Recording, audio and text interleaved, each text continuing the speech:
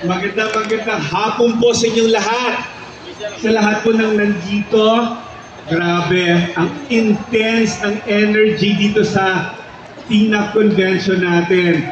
Alam niyo po, ito po ay isa sa pinaka napakalaking karangalan para sa akin na ma-present ng Pure Gold sa harapan ninyong lahat ang isa sa pinaka pinag pinaghirapan, pinag-isipan at talaga namang lahat ng talento at kolaborasyon ginawa ng cast and crew. At syempre ng mga uh, tao sa likod ng Pure Gold. Para bigyan kayo ng isang retailtainment na talaga namang tatata sa ating isipan. Ang lalaki sa likod ng profile ay kasunod po ng isang napaka-hit na digital series na ginawa ng Pure Gold last year na pinamagatang ang lalaki sa likod, ay ang babae sa likod ng face mask. Naalala niyo po ba yon? Yes! So ngayon po, ang lalaki sa likod ng profile is kakaibang storya naman to. Uh, hindi to normal na rom-com. Actually, ang pinakamaganda dito, ito po ay isang produkto ng kolaborasyon ng Pure Gold. Uh, kung hindi niyo po na itatanong, initial na ideya po ng ating series ay nagmula po kay Miss Ivy Piedad ng Pure Gold. Palakpakan po natin siya. Siya po ang nakaisip ng konseptong ito.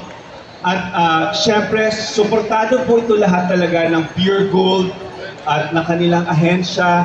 At syempre, ang pinakamagandang proseso dito, hindi siya normal na serye na kung saan may script, yung mga tao sa paligid, sa likod na sa likod at harap ng camera, walang pakialam, ginawa lang kung anong script. Hindi po ganito to. Ang lalaki sa likod ng profile ay isang kolaborasyon.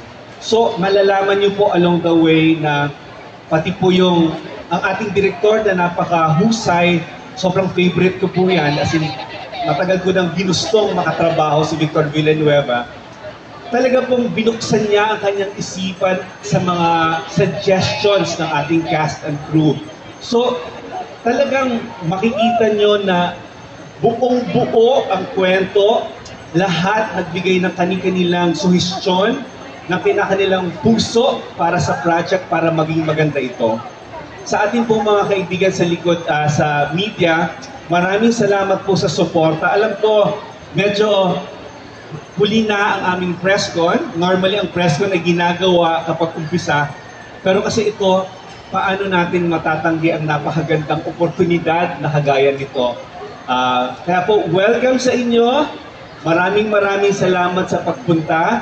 At syempre sa cast and crew, maraming salamat sa pagbuhos ng inyong pagmamahal sa proyektong ito. At sa ating mga kaibigan sa Pure Gold, lalo na kay Miss Ivy at kay Mr. Vincent ko, na talaga namang walang sawang sumusuporta sa mga creative endeavors na gusto nilang ibigay para sa mga manonood. Again, maraming salamat at mabuhay kayong lahat. Maraming salamat, Sir Chris Kahilig. Maraming